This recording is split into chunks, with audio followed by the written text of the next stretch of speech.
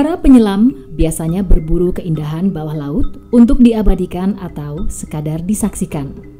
Namun tak selamanya menyelam hanya untuk senang-senang, karena penyelam juga melakukan aksi peduli laut seperti yang dilakukan pada medio Agustus lalu.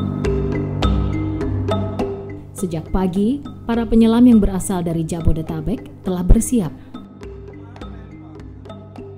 Tidak hanya berbekal peralatan selam, namun juga membawa kantong ukuran besar.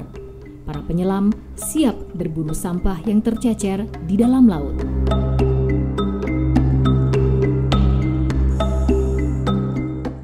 Aksi memungut sampah di perairan Pulau Seribu merupakan bagian dari kampanye peduli laut, mengingat Indonesia berada di peringkat dua di dunia setelah Tiongkok dalam penghasil sampah plastik ke laut.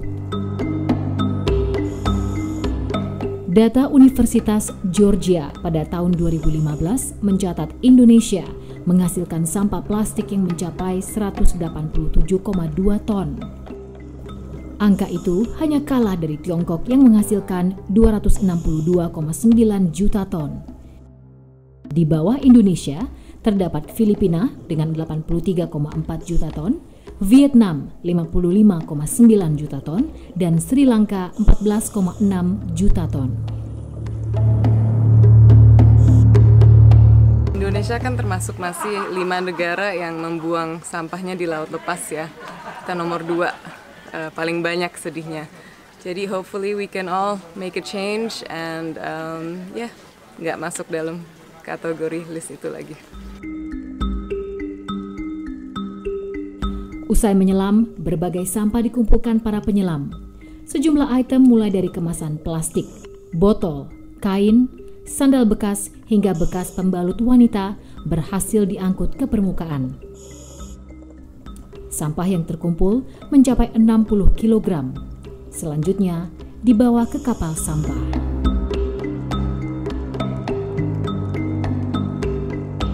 Tadi di bawah pas di dari awal kita start saya udah menemukan beberapa plastik ya sejenis ada plastik kopi, ada uh, plastik arinso segala macam lah.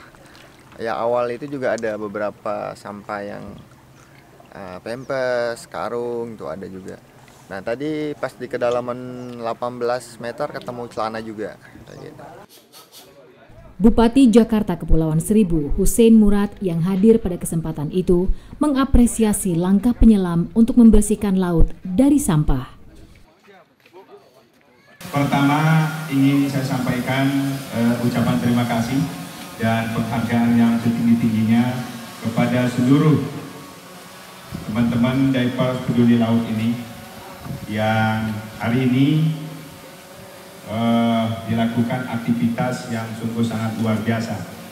Saya tidak melihat uh, berapa banyak sampah yang didapat, tetapi saya lihat ini ada message tertentu, ada pesan yang memang harus kita nons ke publik, harus kita sampaikan kepada masyarakat bahwa peduli terhadap laut, peduli terhadap lingkungan itu harus menjadi concern kita bersama siapa pun kita, apa pun profesi kita, apa pun pekerjaan kita, tidak peduli jenis kelaminnya apa, laki, perempuan, besar, kecil, semuanya harus punya kepedulian yang sama.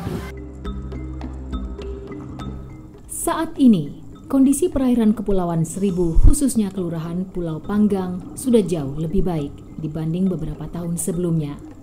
Para penyelam kini makin peduli mengingat Pulau Pramuka merupakan salah satu destinasi wisata selam yang letaknya tak jauh dari Jakarta.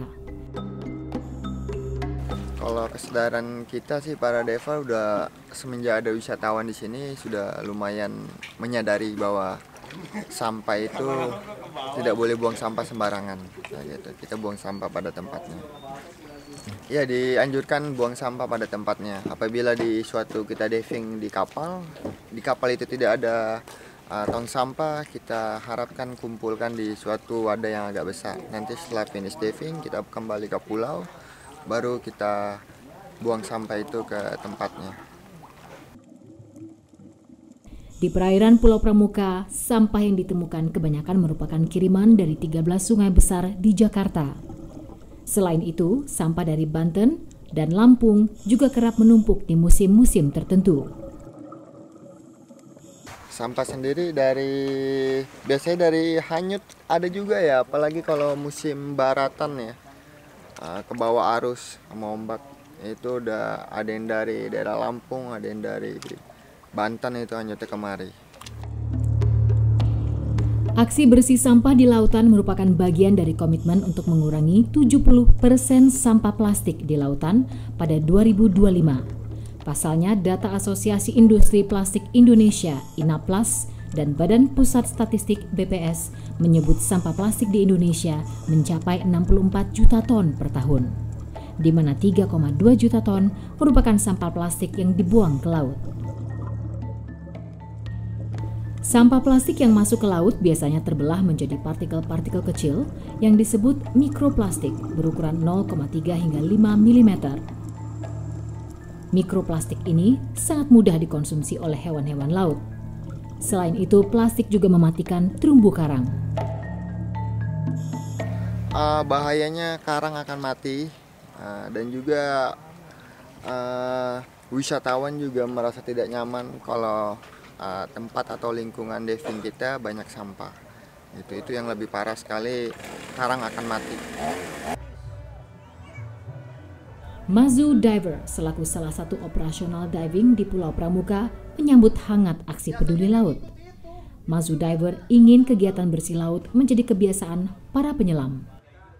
Jadi kalau di Mazu malah kita kalau kita bikin dive dive trip, dive tour itu kita bawakan kantong sampah, kantong sampah untuk mengambil sampah di lautan. Nah, guide-guide saya walaupun dia lupa buat kantong sampah, dia selalu mengambil sesuatu kalau ada sampah kita ambil di laut kita kantongin di kantong BCD atau apa itu nanti baru kita buang di darat gitu di tempat sampah jadi memang di Mazu itu sekarang kita tamu-tamu asing segala pun kita bawain itu sampah keranjang sama dan mereka sekarang suka gitu kalau dia udah rutin ke sini dia selalu minta keranjang sampah gitu. Sejauh ini, menyelam di Pulau Pramuka menjadi destinasi minat khusus karena di beberapa lokasinya menyajikan pesona bawah air yang menakjubkan. Hal itu terwujud salah satunya karena kesadaran untuk menjaga lingkungan. Tip kan ada beberapa, jadi ada beberapa uh, penanganan sebenarnya kalau tip gitu ya. Ada dia memang harus jujur sama kita, dia itu dive tour, berapa log, berapa atau dia cuma dia bilang dia udah pernah nyelam tapi ternyata dia nggak punya sertifikat. Itu memang kita harus pilih-pilih. Kalau di Mazu memang sebelum dia nyelam buat supaya buat safety-nya supaya ini kita biasanya melakukan cek dive. Cek dive di beberapa dive spot yang nggak terlalu dalam nggak terlalu apa. Nah dari situ kita bisa bisa apa namanya memilah. Ada yang logbooknya masih uh, sedikit apa-apa gitu nanti kita handle khusus. Upaya menjaga lingkungan menjadi lebih baik merupakan nilai yang harus dimiliki oleh setiap individu, termasuk penyelam. Salah satunya dengan membiasakan diri membawa kantong sampah saat menyelam. Jika misi mulia itu semakin sering digalakan, maka sikap peduli bahwa laut bukan tempat sampah akan semakin meluas.